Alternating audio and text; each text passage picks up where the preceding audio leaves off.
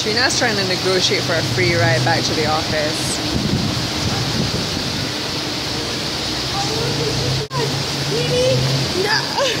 What?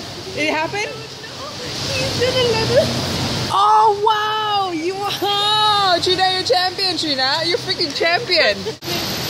Roll with Trina, I say. On TV3 only, yeah? Yes, sir. You're so cool.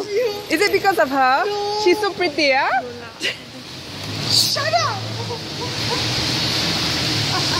Do you do it, Trina?